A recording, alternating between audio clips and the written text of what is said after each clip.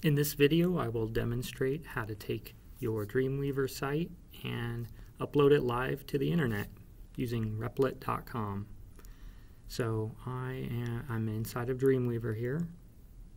I'm going to create a new site. Give it a name. And then I need to choose the folder where I'm going to save my site.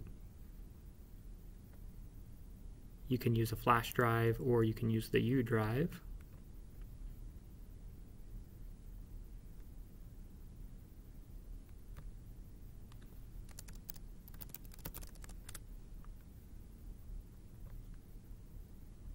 Select your folder.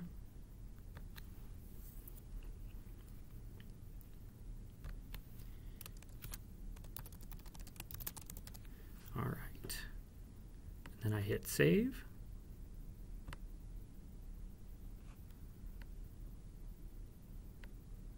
For this example, I'll just add a page here. So um, you'll create your website in Dreamweaver with all of the pages. So I'm just going to use the Bootstrap template here.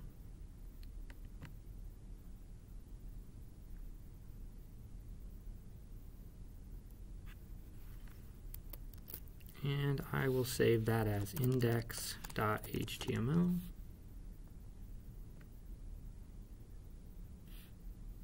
All right.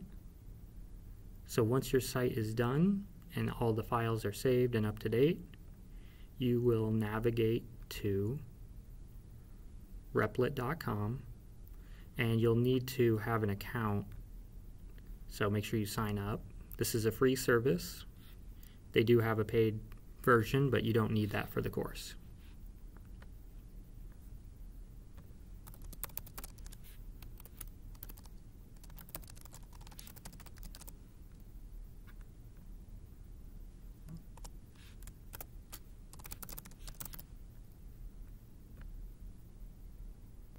Okay.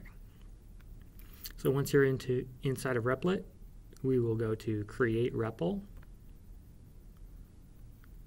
and we want to choose HTML, CSS, JS.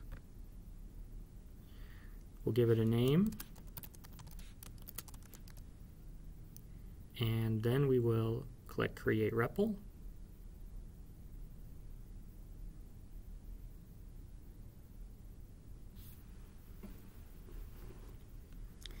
All right, this will give you a basic uh, web page here and if you hit run, you can see it says hello world. Now we just need to add our files from Dreamweaver. So I'm going to move this over to the side. And then I'll open the folder where my Dreamweaver files are.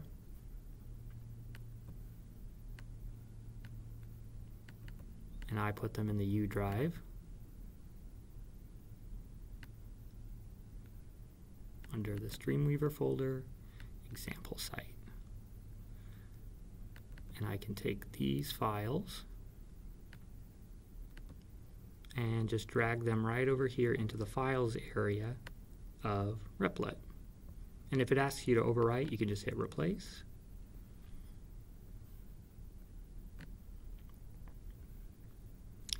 All right. And then I could test it out to make sure everything worked. So here's my site. I can click this little arrow on the right to see it in a new tab. And that gives me the web address. So anyone that visits this web address will see this page. So good luck and let your instructor know if you need any help. Thank you.